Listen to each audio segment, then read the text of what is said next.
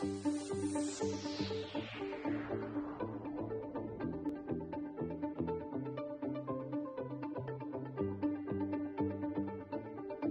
come from a family of longtime insurance agents, so working with them through breaks in school, I was exposed to that area of the financial world.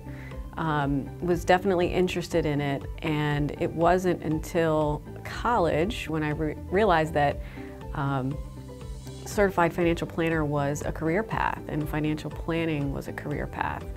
But as soon as I knew that it existed, I instantly knew that was the fit for me. I think the passion comes from um, just matching the interest in uh, financial planning and the desire to help people. It really is um, the perfect career path for marrying those two together. So one of the things I loved the most about StratWealth was that we were independent, we were fee-based, we didn't sell things.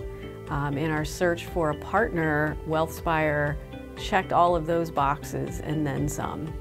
I think it's the best of both worlds for the Eastern Shore and Delaware communities that we have the experience of being here for so long, but now we have the resources of a much bigger firm to offer.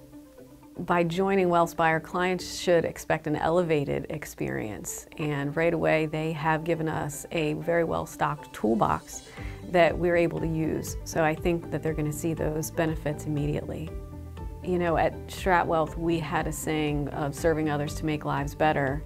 And when we learned the story behind WealthSpire's firm name, um, they wanted to tell the world that their clients' aspirations are their inspiration.